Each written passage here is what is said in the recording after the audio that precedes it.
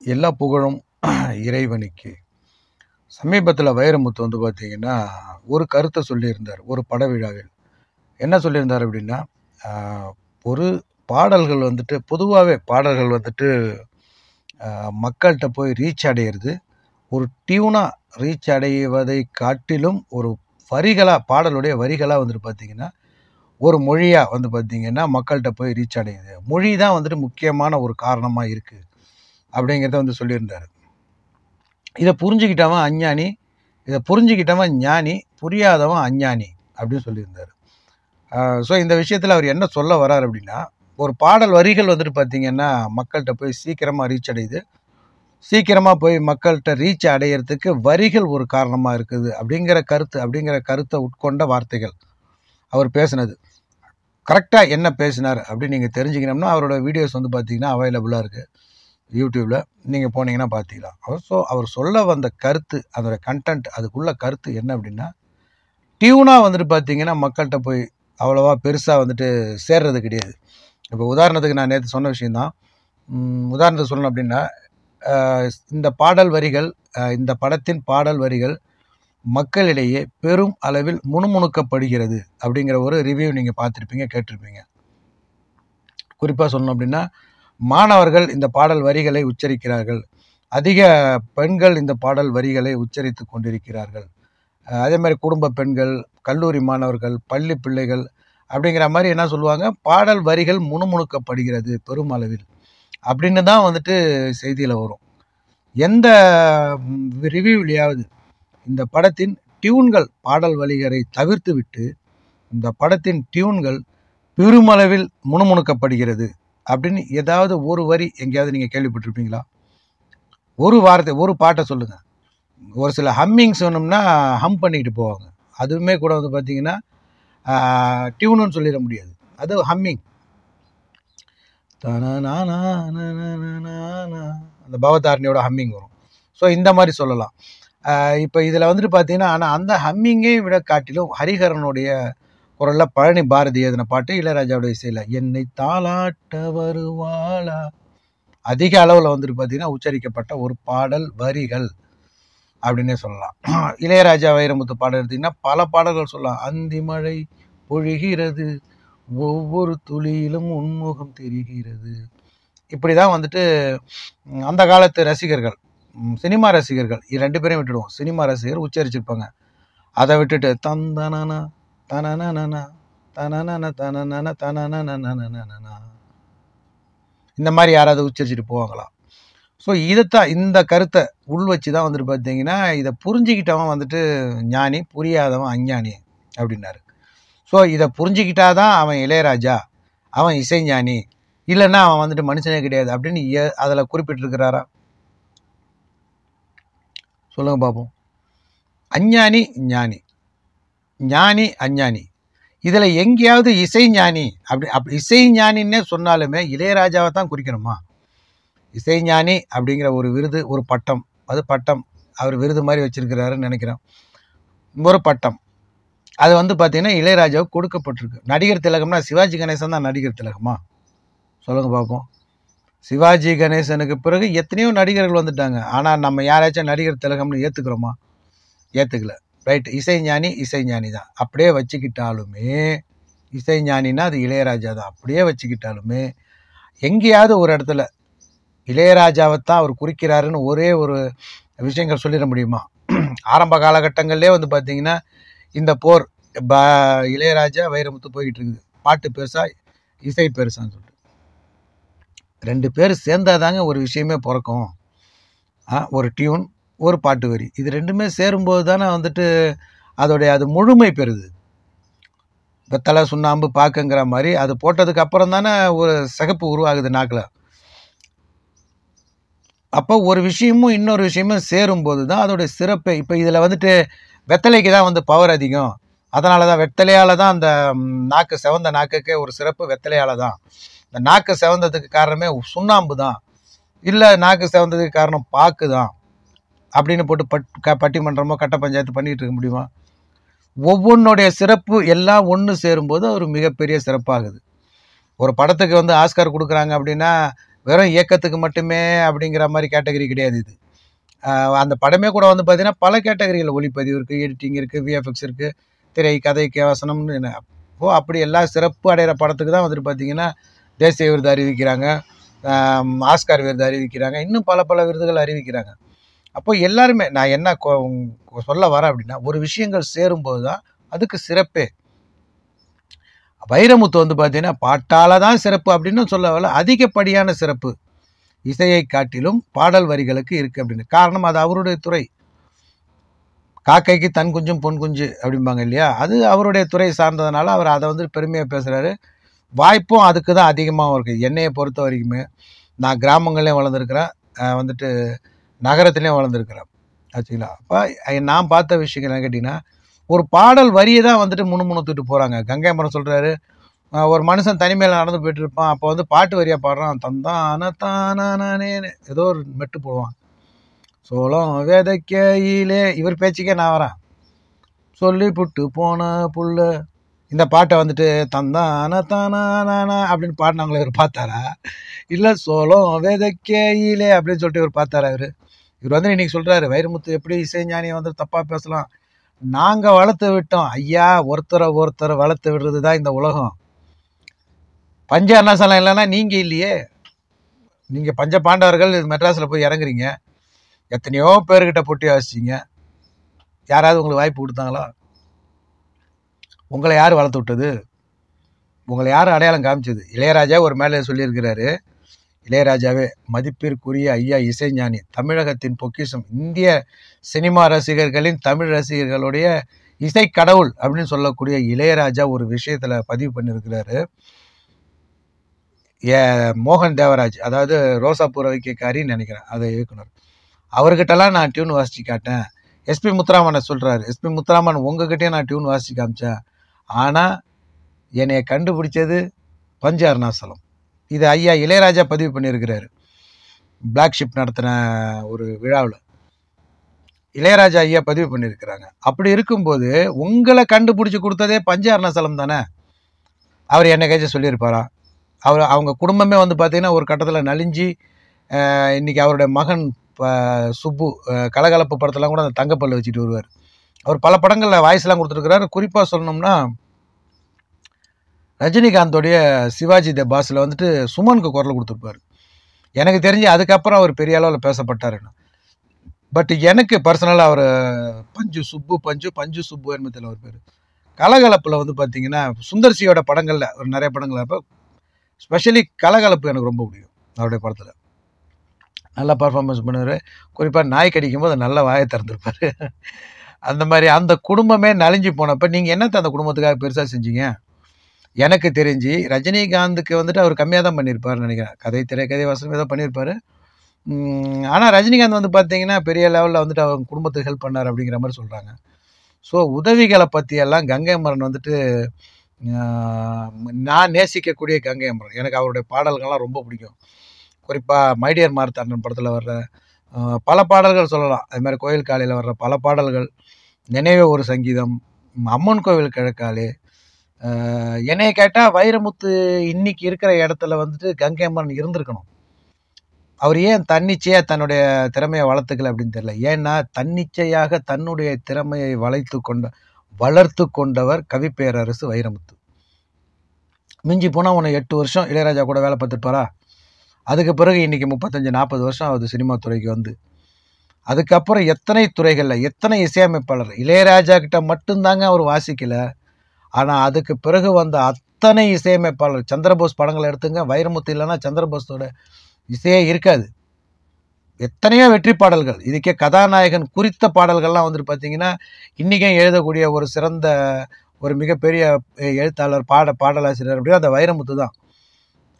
ரஜினிங்கிற வார்த்தையை வந்து சினிமாவில் பாட்டில் கொண்டு வந்தவர் குஷ்புங்கிற வார்த்தையை கொண்டுட்டு வந்தவர் அர்ஜுன் இந்த வார்த்தையெல்லாம் கொண்டுட்டு வந்தார் விஜயகாந்துக்கு மதுரை அந்த மதுரை மதுரைங்கிற விஷயத்த விஜயகாந்தோட சம்மந்தப்படுத்தி எழுதின எழுத்தாளர்கள்லாம் ரொம்ப குறைவு. அதில் அதிகமாக வந்து பார்த்தீங்கன்னா வைரமுத்து எழுதியிருப்பார் சொல்லலாம் வண்டிக்காரன் சொந்த ஊர் மதுரை.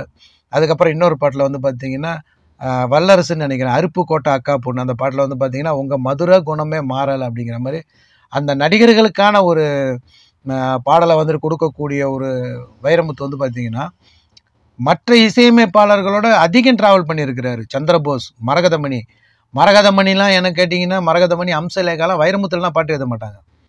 ஏன்னா அவங்களை கொண்டுகிட்டு வந்த பாரதி ராஜா வைரமுத்து எனக்கு தேவை இளையராஜா எனக்கு தேவையில்லைன்னு தூக்கி ஒரு சந்தர்ப்பத்தில் திரும்பி போயிட்டார்.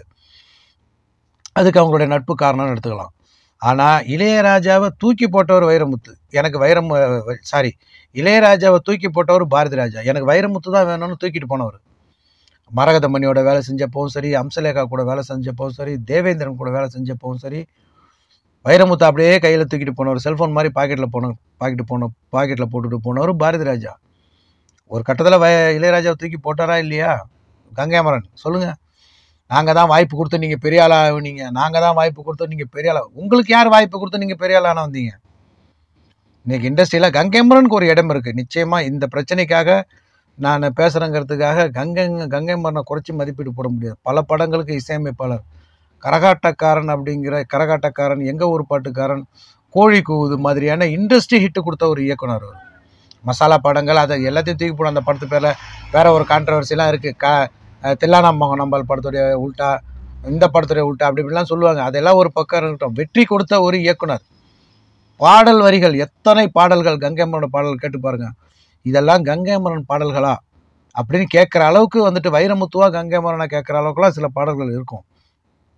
அந்த மாதிரியான ஒரு நம்மால் வந்து இளையராஜாவால் கவனிக்கப்படாமல் போன ஒரு பாடலாசிரியர் கங்கைமரன் அவரை வந்துட்டு இளையராஜா தான் தவிர்த்தார். ஏன்னா வைரமுத்துக்கு கொடுத்த வாய்ப்பை கங்கைமரனுக்கு கொடுத்துருந்தாருன்னா கங்கைமரன் இன்னைக்கு வந்து பார்த்திங்கன்னா மிகச்சிறந்த ஒரு பாடலாசிரியராக எழுத்தாளராக உருவாகி இருக்கலாம் மேபி தெரியல எனக்கு. ஏன்னா என்னையை பொறுத்த வரைக்கும் அவர் மிகச்சிறந்த ஒரு இசையமைப்பாளர் மிகச்சிறந்த ஒரு இயக்குனர் மிகச்சிறந்த ஒரு கதாசிரியர் வசனகர்த்தா இயக்குனர் பாடலாசிரியர் இப்படி பதிவு பண்ணிட்டே போகலாம் ஸோ நீங்கள் வந்து கேட்குறீங்க உங்களுக்கு வந்துட்டு அன்னைக்கு இளையராஜா கூப்பிட்டு கோழி கூது படம் கொடுக்கலன்னா நீங்கள் பெரிய ஆளா பெரிய இயக்குனர் ஆகியிருப்பீங்களா? ஒரு கருமாரி கந்தசாமி கூப்பிட்டு உங்களுக்கு கரகாட்டக்காரன் கொடுக்கலாம் நீங்கள் பெரிய ஆள் ஆயிருப்பீங்களா மேபி ஆயிருக்கலாம் பட் காலதாமதமாக இருக்குமா இல்லையா? சொல்லுங்கள் நீங்கள் வந்து வைரமுத்துவை நாங்கள் தான் வளர்த்து விட்டோம். வைரமுத்து நீங்கள் வளர்த்து விடலைன்னா அந்த பெருமை இன்னொருத்தருக்கு போயிருக்கும் அடுத்த நாளே. வைரமுத்துவை நீங்கள் கூப்பிட்டு வாய்ப்பு கொடுக்கல. வாய்ப்பு கேட்டு வந்த வைரமுத்துக்கு பாரதி ராஜா வாய்ப்பு தராரு. பாரதி ராஜாவால் இளையராஜா அவருக்கு வாய்ப்பு தராரு. இளைய வைரமுத்துவோடைய பாடல் வரிகள் எழுத்து உங்களுக்கு பிடிச்சி போகுது. அதனால் அவரை பயன்படுத்திக்கிறீங்க. முடிந்தால் என்னை பயன்படுத்தி கொள்ளுங்கள்னு சொன்ன பார வைரமுத்துவை நீங்கள் பயன்படுத்திக்கிறீங்க. அம்சலேகா எடுத்துக்கங்க. வைரமுத்தோட மொத்த பாடல்கள் எழுதியிருக்கிறார் வைரமுத்துட்ட. கொடுத்துருக்கிறார். மொத்த டியூன்களையும். அதே மாதிரி அம்சலேகா அதே மாதிரி தேவா அதே மாதிரி ஏஆர் ரஹ்மான். எத்தனை இசையமைப்பாளர்களோட அவர் வேலை செஞ்சார் தெரியுங்களா? நீங்கள் அதை தொடர்ந்து யார் யாருக்கு நீங்கள் வாய்ப்பு கொடுத்துருப்பீங்க? யாருக்கு நீங்கள் சொல்கிறீங்க நான் வளர்த்து விட்டேன்னு. ஒரு பஞ்சாரண சலம்லாம் இன்றைக்கி நீங்கள் இல்லை. இதே மாதிரி ஒவ்வொருத்தரும் சொல்லிகிட்டே போகலாம் ஒரு ராஜகிரண் வளர்ந்ததுக்கு பின்னாடி ஒரு கதை இருக்குது ஒரு ராஜ் கபூர் வளர்ந்ததுக்கு பின்னாடி ஒரு கதை இருக்குது அவரை ஒருத்தர் தூக்கி விட்டுருப்பாங்க. ஒருத்தர் இதே இன்னைக்கு ஏவிஎம் மிகப்பெரிய நிறுவனம். அவங்களுக்கு அந்த காலத்தில் யாரோ ஒருத்தர் வாய்ப்பு கொடுத்துருப்பாங்க. அவங்களுக்கும். இப்படி சொல்லிக்கிட்டே போகலாம் ஒருத்தர் வாய்ப்பு கொடுத்து தான் கங்கைமரன் சார் இன்னொருத்தர் நிச்சயமாக வாய்ப்பு கிடைச்சி தான் ஒருத்தர் வர முடியும். தன்னிச்சையாக வாய்ப்பை உருவாக்கிக்கிட்டு வந்தவங்க ஒரு சில பேர். பட் அன்னைக்கு இன்றைக்கி அவங்களாம் இருக்கிறாங்களான்னு கேட்டால் இல்லை. வாய்ப்பில்லை. இன்றைக்கி இளையராஜா வந்துட்டு இன்றைக்கி இவ்வளோ தூரம் இன்னைக்கு உலகமே பார்க்குற திரும்பி பார்க்குற அளவுக்கு இளையராஜா இந்த இடத்துல இருக்கிறாரு அப்படின்னா அவருடைய திறமைகள் மட்டும் காரணம் இல்லை. அவர் திறமைகள் வந்துட்டு பார்த்தீங்கன்னா ஒரு பஞ்சாரண சலம்லாம் வெளியே வராமலே போயிருந்துருக்கோம்லாம் நான் சொல்ல வரல. நிச்சயம் வேறு ஒருத்தர் வாய்ப்பு கொடுத்துருப்பாங்க. வேறு ஒருத்தருடைய வாய்ப்பு உங்களுக்கு கிடச்சிருக்கும். பட் நீங்கள் சொல்கிற அந்த வார்த்தை ரொம்ப வலிக்குது. நாங்கள் வாய்ப்பு கொடுத்து தான் நீ பெரிய ஆளாக வந்த அப்படின்னு. அது உண்மையாக இருக்கட்டுமே. ஆனால் வாய்ப்பு கொடுத்தா தானே இங்கே இன்னொருத்தனுக்கு வாய்ப்பே கிடைக்குது. அந்த உங்களை வந்துட்டு நீங்கள் வந்துட்டு இன்னைக்கு ரொம்ப ஈஸியாக வந்துட்டு வைரமுத்துவை பேசுகிறீங்க அன்னைக்கு வைரமுத்துக்கு வாய்ப்பு கொடுத்ததுனால தான் உங்களுக்கு வாய்ப்பு கிடைக்கலங்கிறது உங்களுக்கே நல்லா தெரியும். அவருக்கே நல்லா தெரியும். ஒரு சந்தர்ப்பத்தில் வந்து பார்த்தீங்கன்னா புறக்கணிக்கப்பட்டார். இன்னும் ஒரு சந்தர்ப்பத்தில் வந்து பார்த்தீங்கன்னா பேச்சே கிடையாது. இளையராஜாவுக்கும் கங்கை அம்மனுக்கும் தொடர்பே கிடையாது. இன்றைக்கி வந்துட்டு எங்கள் அண்ணனுக்காக நான் போராடுறேன் அண்ணனுக்காக போராடுறேன்னு இதுக்கு முன்னால் அண்ணனை பற்றி ஒரே ஒரு வார்த்தை நீங்கள் பெருமையாக எங்கேயாவது பேசியிருப்பீங்களா சொல்லுங்கள் நீங்கள் அந்த இளையராஜாவால் கவனிக்கப்படலை அப்படின்னா நீங்கள் கச்சேரிக்கு இசையமைக்கிற ஒரு இசையமைப்பாளராக தான் இருந்திருப்பீங்க. செலிபிரிட்டியோட கல்யாணங்களில் பாட்டு கச்சேரி பண்ணிக்கிட்டு டிவி ஷோக்களில் அந்தாக்ஷரி பண்ணிக்கிட்டு ஒரு வேளை இருந்திருப்பீங்கன்னு நினைக்கிறேன் நான். அந்த இளையராஜாவை உங்களுக்கு வாய்ப்பு கொடுத்த அந்த இளையராஜாவை நீங்கள் என்ன பெருமையாக பேசுனீங்க? எத்தனையோ பாடல்களை காப்பி அடிச்சாருன்னு சொன்னீங்க. எந்தெந்த பாடல்களை காப்பி அடித்து எத்தனை பாடல்கள் இளையராஜா போட்டுப்பாரு உங்களுக்கு தெரியுமா? அப்படின்னு நீங்கள் தான் கேட்டீங்க. யாராவது ஒருத்தராவது இளையராஜாவை பற்றி தப்பாக பேச சொல்லுங்கள் வெளியே வந்து. உங்களை தவிர உங்களை தவிர யாராவது இளையராஜாவை பற்றி வெளியே வந்து தப்பாக பேசியிருப்பாங்களா? இல்லை நீங்கள் தான் பேசுனீங்க. இன்றைக்கி கூட அரசியல் காரணமாக தான் நீங்கள் அவர் அண்ணனோட போய் சேர்ந்துருக்கிறீங்க. எங்கள் அண்ணனுக்கு நான் ஒரே தம்பி இருக்கிறேன். எங்கள் உங்கள் அண்ணன் தம்பிக்குள்ளே ஆயிரம் பிரச்சனைகள் இருக்கும். குடும்பத்துக்குள்ளே ஆயிரம் சண்டை சச்சரவுகள் எல்லாம் இருக்க தான் செய்யும். வெளியில் வந்ததுக்கு பிறகு அதை பத்து பேர் பேச தான் செய்வாங்க. இப்போ நீங்கள் என்ன சொன்னீங்க? இளையராஜா ஒரு காப்பி கேட்டுன்னு நேரடியாக சொல்லாமல் எத்தனையோ பாடல்கள் நாங்கள் எடுத்துருக்குறோம். பல பாடல்கள் இருந்துன்னு சொல்லி சொல்லியிருக்கிறீங்க. ஸோ நீங்கள் வந்து இளையராஜாவை பற்றி இன்றைக்கி பெருமையாக பேசுகிறீங்க அப்படின்னு ரைட்டு உங்கள் அண்ணன் ஒரு பக்கம் உடன்பிறப்பு. ஸோ அதுக்கு நிறைய லாஜிக் இருக்குது நீங்கள் அண்ணனை பற்றி பேசுகிறீங்க அப்படின்னா. ஆனால் இதே வாய் தானே நாலஞ்சு வருஷத்துக்கு முன்னாடி உங்கள் அண்ணனை கழுவி ஊத்துச்சு. ஸோ இன்றைக்கி வந்துட்டு இன்றைக்கி வா பா நம்ம வைரமுத்து சொன்ன வார்த்தை ஞானி அஞ்ஞானி. எந்த வகையில் வந்துட்டு இளையராஜாவை தாக்குதுன்னு நீங்கள் சொல்கிறீங்க இளையராஜா குறிக்குமா? ஞானி ஞானின்னு பார்த்தாலுமே சினிமா துறையையும் தவிர்த்து பல பேர் இருக்கிறாங்க. சினிமா துறை அரசியல் துறை பல பேர் இருக்கிறாங்க. திரைஞானி இருக்கிறாரு கலைஞானி கமலஹாசன் இருக்கிறாரு. இசைஞானி அப்படின்னு சொல்லியிருந்தார்னா கண்டிப்பாக தவறு.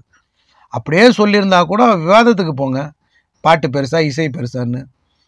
ஒரு கூந்தலுக்கு வந்துட்டு ஏதோ மனம் இயற்கையாகவே மனம் இருக்கா இல்லை செயற்கை மனமான்னு சொல்லிட்டு நக்கீரன் கிளப்பின மாதிரி ஒரு பிரச்சனையை உண்டாக்கி விவாதம் பண்ணுங்கள் பட்டிமன்றம் நடத்துங்க. அதில் ஒன்றும் தவறு இல்லையே அப்படியே சொல்லியிருந்தா கூட வைரமுத்து இல்லை இசைஞானின்னு சொல்லியிருந்தா கூட அவர் துறையே அவர் பெருமையாக பேசினார். அதே சமயத்தில் இசையை அவர் விட்டு கொடுக்கல. இசையை வந்துட்டு தாழ்த்தி பேசலை. டியூனை வந்து தாழ்த்தி பேசலை. இது இல்லைன்னா அது இல்லை அப்படிங்கும்போது அதிக மக்கள்கிட்ட போய் சேர்க்கறது பாடல் வரிகள். அது முற்றிலும் உண்மை நூற்றுக்கு நூறு உண்மை. பாடல் வரிகள் மட்டும்தான் கிராமம் கிராமமாக நகர நகரமாக தெரு தெருவாக சந்து சந்தா பொந்து பொந்தா இண்டெடுகளெல்லாம் கொண்டுட்டு போகிறது பாடல் வரிகள் மட்டுமே. அதுக்கு முக்கிய காரணம் நூறு சதவீதம் ஒரு நல்ல டியூன் அது ஒரு மிகப்பெரிய காரணம் ஒத்துக்கிறோம்.